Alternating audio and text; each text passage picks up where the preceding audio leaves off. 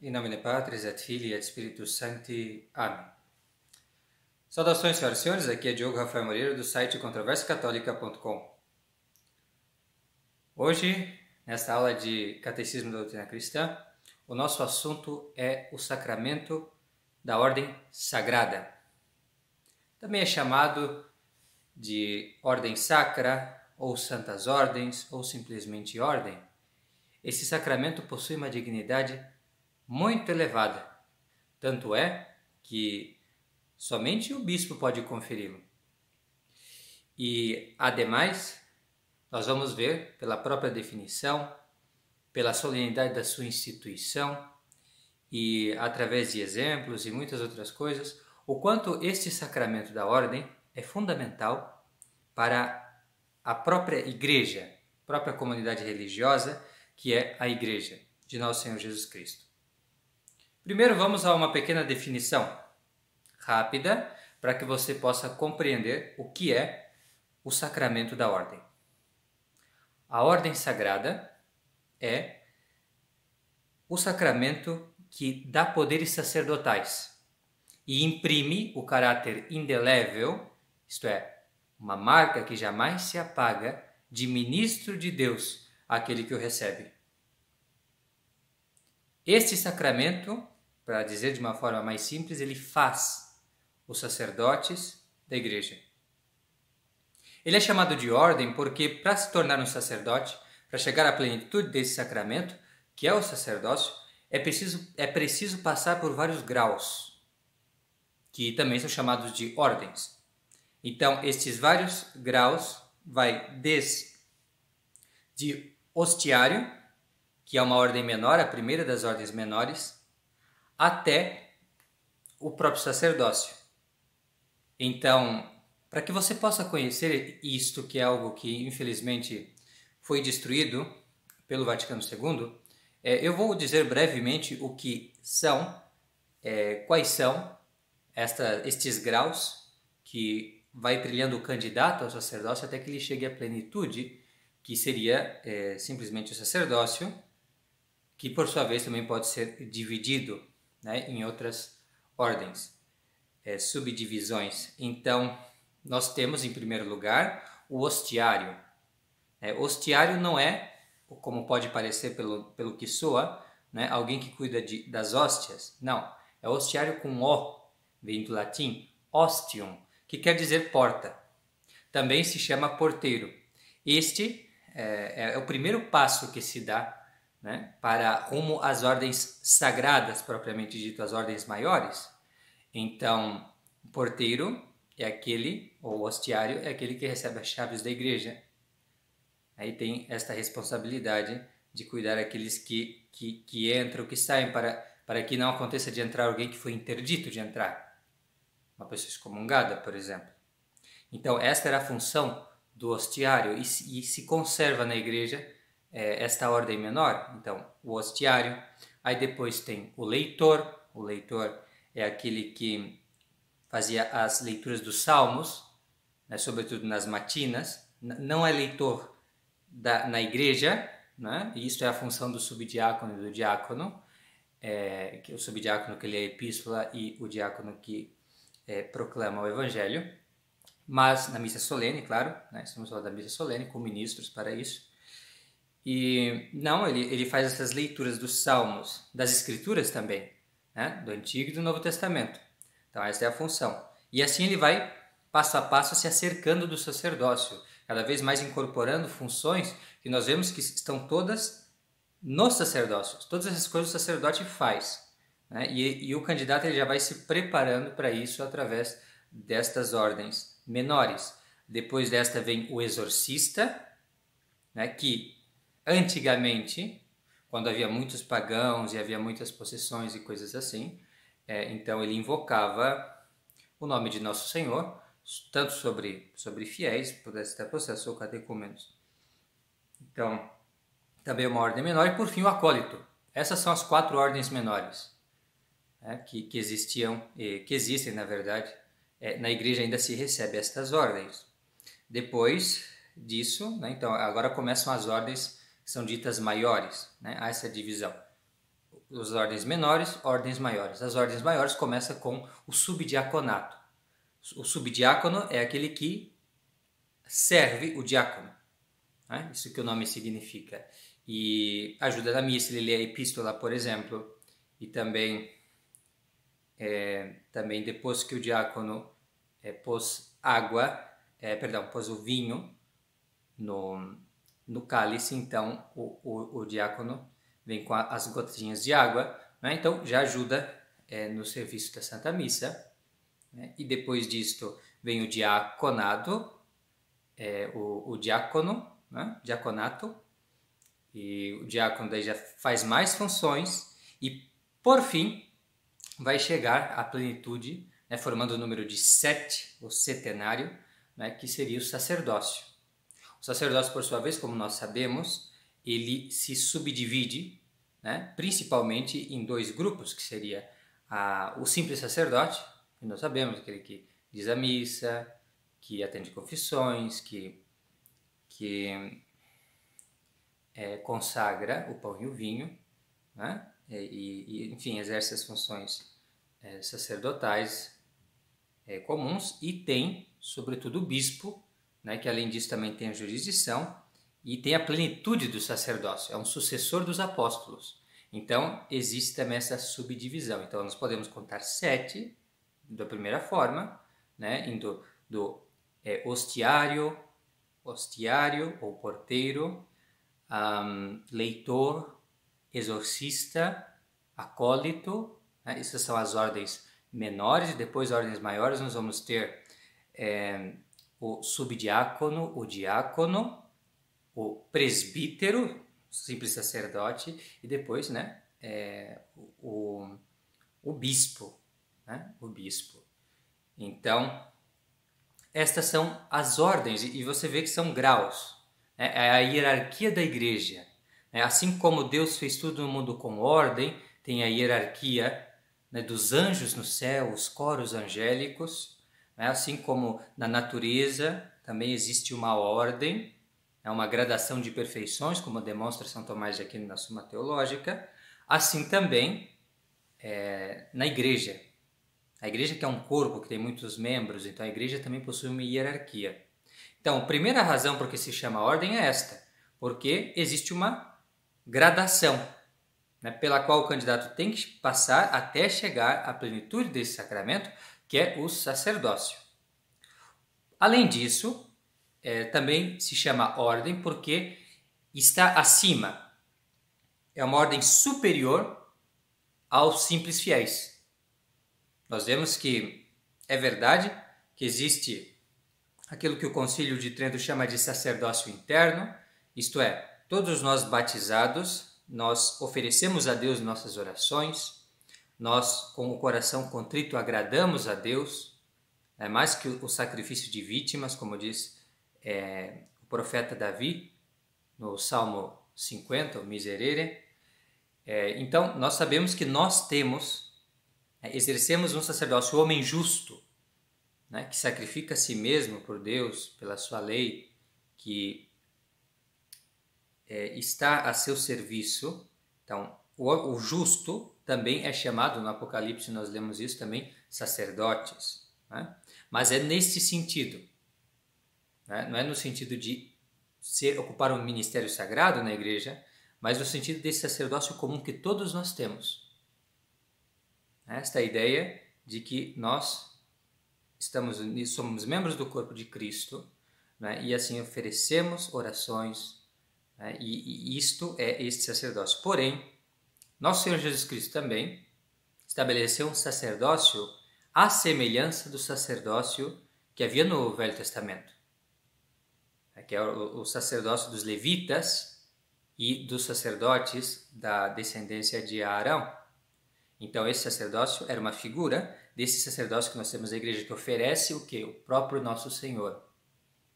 Né? No sacrifício, sacrifício da Santa Missa, que exerce poderes divinos recebidos do próprio Deus nosso Senhor. Então, isto aí é o sacerdócio é, exercido graças né, a esse sacramento da ordem. É ele que permite. E nós sempre dizemos que é algo sagrado, porque as pessoas é, que recebem esse sacramento, elas são separadas, são consagradas de uma forma especial a Deus. Não como os fiéis, como eu já disse, são consagrados a Deus no batismo, mas ainda com uma marca especial, com uma marca de seus ministros. Uma marca de ministros de Deus. Então, eles não são apenas na igreja simples súditos, né? não são apenas aqueles que recebem a, a, as, as, graças, né? mas eles também distribuem, dispensam estas graças em nome de nosso Senhor Jesus Cristo. Então, agora vamos entender um pouco é, a grandeza deste sacramento, fazendo uma pequena comparação. É, primeiro, vamos ver o que, que esse sacramento nos traz de novo nas nossas aulas de doutrina cristã. Primeira coisa que é importante observar você precisa observar isso com atenção, é bastante interessante, é que até agora nós falamos de cinco sacramentos. É, nós falamos é, do sacramento do batismo, falamos do sacramento da confirmação ou crisma, falamos sobre a Eucaristia, sobre a penitência ou confissão e sobre a extremunção. Cinco sacramentos. Estes cinco sacramentos, eles dizem respeito a santificação do indivíduo somente. Desde o nascimento até o túmulo, né? batismo até a extremunção, a santificação do indivíduo. Porém, aqui a primeira coisa que eu quero que você observe é que esses dois últimos sacramentos, a ordem e o matrimônio, eles são para a santificação não só do indivíduo que o recebe, mas a santificação da igreja, o benefício da igreja como um todo. Eles são para a perpetuidade é, e, e para o incremento e para o benefício da Santa Igreja. Para isso que servem esses sacramentos, então, agora da, da ordem sagrada e do matrimônio. Então, isso é, é um aspecto bastante importante de você entender. E com esta observação, você também vai entender a grandeza do sacerdócio, da, da, desse sacramento da ordem sagrada, que nos dá o sacerdócio, porque sem o sacerdócio, dificilmente, né? na verdade, nós não teríamos uma grande parte dos sacramentos, porque o sacerdote é o ministro de grande parte dos sacramentos necessário para confeccionar, para fazer os sacramentos. E aqueles onde ele não é necessário, é, estritamente falando, a rigor, sem o sacerdote perderiam muito da sua solenidade nos ritos e nas cerimônias. Ficariam reduzidos ao essencial. Né? Então perderia muito do seu esplendor. Então o sacerdócio ele é realmente raiz e fundamento da comunidade religiosa. Assim como nós podemos dizer que o matrimônio, como nós vamos ver, ele é o princípio fundamento da sociedade doméstica, da família e também da sociedade civil, o Estado. Né? Então, é muito importante observar isso, a grandeza do sacerdócio é, por este aspecto.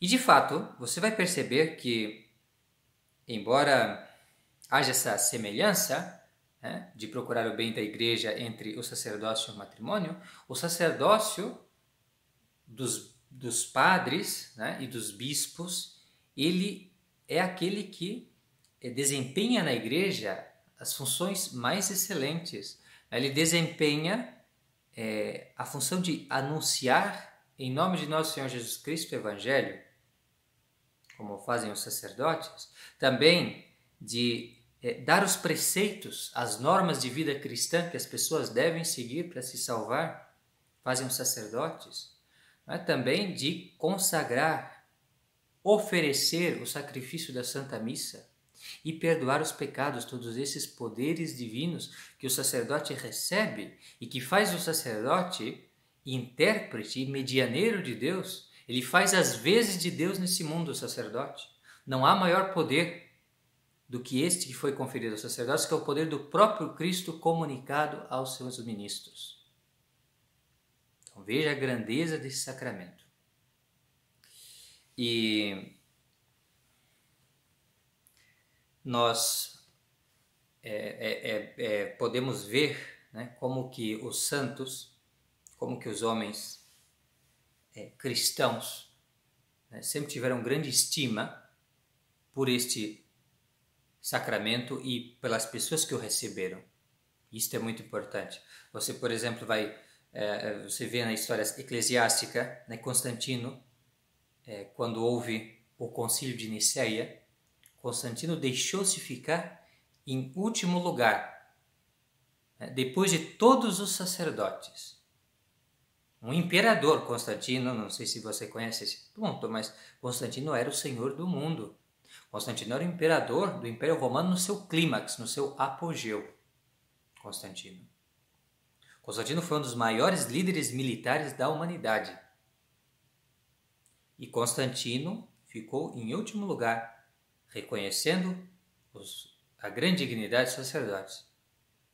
E também nós temos o luminoso São Francisco de Assis, grande São Francisco de Assis.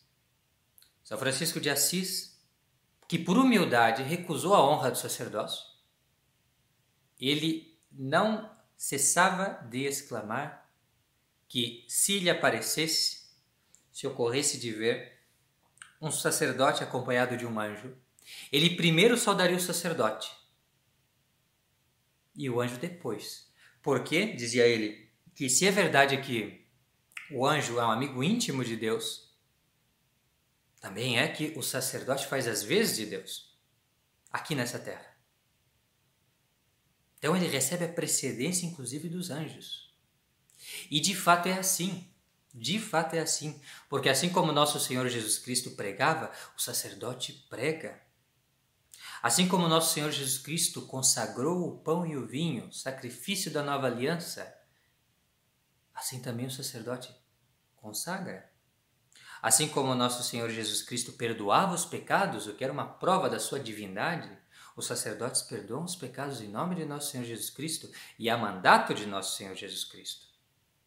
Porque esta é a vontade de Deus, solenemente nosso Senhor Jesus Cristo manda estas três coisas que nós falamos: ensinar e de ensinar, manda fazer isto em memória de mim, com relação à Sagrada Comunhão, e depois é, perdoar os pecados, administrar os demais sacramentos, tudo isso nosso Senhor Jesus Cristo mandou os apóstolos fazerem. Nós temos o testemunho das Sagradas Escrituras a esse respeito e da tradição apostólica. Nas Sagradas Escrituras é muito claro que os apóstolos mesmos estabeleciam colaboradores, ministros, sucessores para que continuassem comunicando é, esses poderes recebidos de nosso Senhor Jesus Cristo. Isso nós vemos nos Atos dos Apóstolos, nós lemos na primeira e na segunda epístola de São Paulo a Timóteo, nós lemos também na epístola de São Paulo a Tito.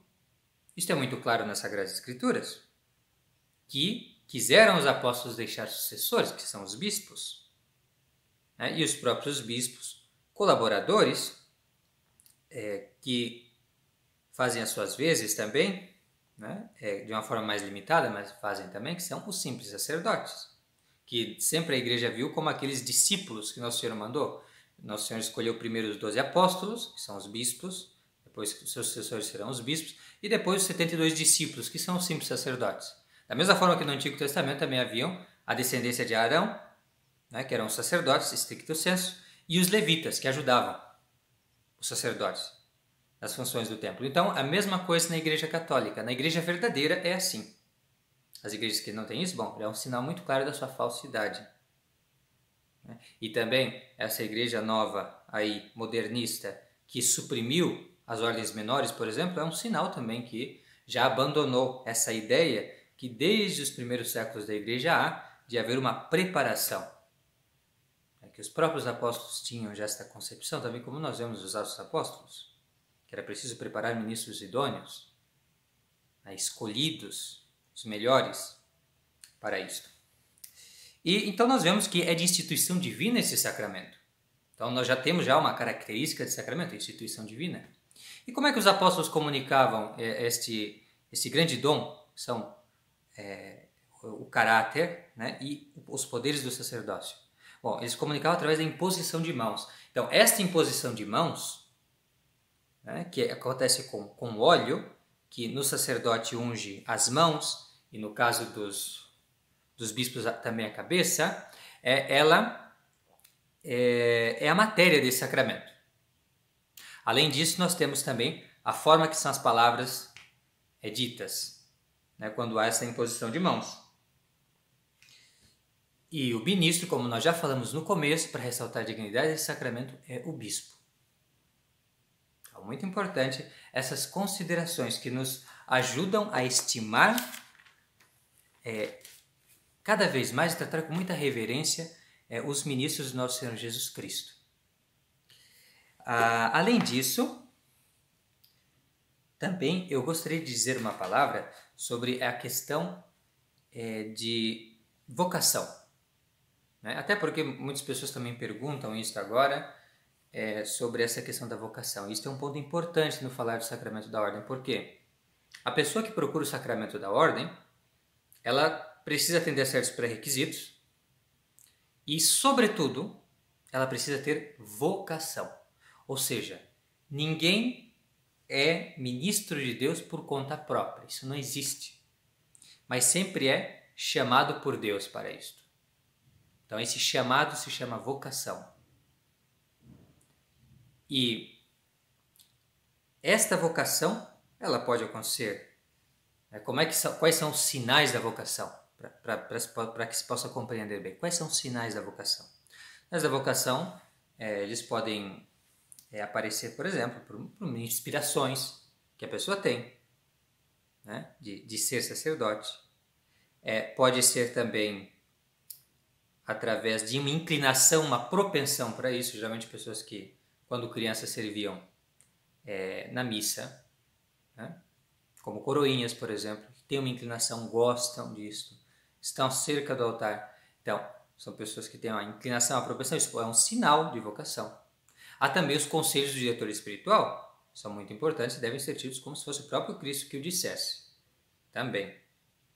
Né? Quando a pessoa está no seminário, muito depende né, é, do que dizem os seus superiores, que estão observando, que têm experiência, né, e que cabe determinar aqueles que prosseguem a receber as ordens ou os que não prosseguem e que ou seguem a vida religiosa ou então voltam para o século.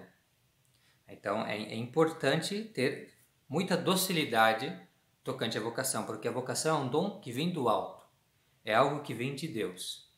E jamais se pode admitir uma pessoa que entre para o sacerdócio é, por interesse, pelas honras, pelas riquezas ou por qualquer outro motivo mundano. Deve-se assumir o ofício eclesiástico para a maior glória de Deus e para a salvação das almas. É isso que tem que ter em mente a pessoa que procura ser um ministro de Deus. Então, isto é bastante importante lembrar disto aqui. Certo? Não ouse se aproximar quem está se aproximando por interesses profanos porque isto é muito perigoso. Receber sacramento sem a vocação é um risco de perder a salvação eterna. E é um grave mal que se faz. Então, tomar muito cuidado e sempre se confiar a pessoas mais experientes é, no tocante a isso. E também, claro, existem impedimentos, por exemplo, físicos. Pessoas têm problemas nas mãos. Né? Ou então, que tem um defeito que chama muito a atenção das pessoas certo? Que é, de certa forma, escandaloso, ou, enfim, dá às vistas. Então, isto é um impedimento canônico também. E há outros impedimentos canônicos, mas isto é, não convém ser dito aqui, mas convém ser conversado com sacerdotes, com diretores espirituais, pessoas assim, sobretudo, no caso, por exemplo, no seminário, é, há regularmente direção espiritual, confissão. É, então, tudo isso ajuda muito nesse sentido, tá bem? E agora penso que para não deixar faltar nada, também é importante falar sobre ah, ah aliás, atenção aqui. Tem duas coisas que são como que duas colunas, certo? Que constitui assim um, um, uma pessoa que vai exercer é, os ministérios sagrados que ele precisa ter, pelo menos numa medida suficiente para poder exercê-lo bem. Né? E, e, isso não somente os sacramentos, os sacramentos, mas também ensinar o povo e coisas assim. Então a pessoa precisa é, também é de duas coisas. São os dois olhos dos sacerdotes, dizia São Francisco de Sales. Precisa ter piedade e ciência. Tá, então, isso é importante. Não basta simplesmente piedade ou simplesmente ciência. Não, é preciso ter pureza de costumes e ter instrução. Uma instrução tal que você possa instruir outros da doutrina cristã. Então, isso é importante. E prudência também, ser prudente. É, há coisas que é, se aprendem, né, se podem aprender no seminário.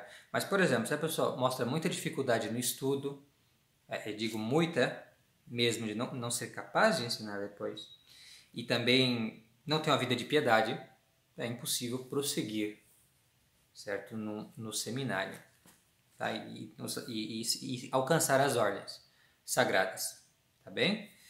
E agora, para terminar esta lição de catecismo, gostaria de dizer uma palavra sobre quais são os deveres dos fiéis com relação aos sacerdotes. Bom, para reduzir isto ao essencial, eu direi três coisas que são bastante importantes e que devem estar não só na nossa mente, mas nas nossas ações concretas, nos nossos costumes.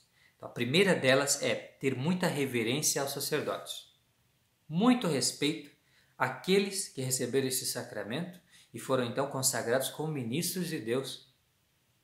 Muito respeito, como São Francisco de Assis, como Constantino. Muito respeito, sempre em primeiro lugar o sacerdote, é, havia uma senhora que tinha esse costume, né? Primeiro os sacerdotes, sempre o serviço à mesa e tudo mais. Isto tem que ser o normal. Primeiro o sacerdote. O sacerdote não é um qualquer. É o próprio Cristo. Faz as vezes de nosso Senhor Jesus Cristo. Depois, é, é, beijar a mão consagrada do sacerdote também é importante, ter esse costume. O sacerdote beija a mão consagrada, ungida do sacerdote. Isto é bastante importante. É sinal de reverência pelo sacerdote. Obediência ao que o sacerdote ensina, docilidade, também sinal de reverência. Muito importante isso. Hoje em dia está se perdendo essas noções de hierarquia, de ordem, noções de autoridade. Nós não devemos deixar levar por essa corrente revolucionária. Não. Além disso, se deve procurar rezar para que Deus Deus, nosso Senhor, dê à igreja sacerdotes muito zelosos é, e, e, e santos. Então, para isso a igreja reservou inclusive um tempo, tem as quatro têmporas no calendário litúrgico, que são é, as quartas, sextas e sábados de jejum, onde se deve rezar principalmente pelos sacerdotes. E se oferecer isso pelas vocações e pelos sacerdotes. Então, atenção nas têmporas, que são essas passagens de estação, as quatro estações do ano, né? então são as têmporas que tem é, em determinados momentos do calendário litúrgico. Então, nessas têmporas é para rezar especialmente pelos sacerdotes. E fazer o jejum também nesta intenção. Bastante importante. E para terminar, também os fiéis eles devem dar toda a liberdade para os seus filhos seguirem a vocação de Deus. Se Deus chamou para o sacerdócio, os pais devem permitir que siga este caminho e incentivar e ajudar com o que puderem. É uma grande honra para a família cristã é ser a fonte de sacerdotes. Uma grandiosa honra. Então, incentivar isto também. Incentivar muito, estimar muito a vida religiosa, estimar muito o sacerdócio. Muito importante isso. Na igreja isso é fundamental. Nós vamos falar um pouco mais sobre isso quando nós tratarmos do matrimônio, que é o próximo assunto e que vai ser o encerramento dessas nossas aulas de, de nosso catecismo, aulas de catecismo da doutrina cristã com relação aos sacramentos. Muito obrigado por ter assistido esse vídeo. Fique com Deus e até a próxima. Tchau, tchau.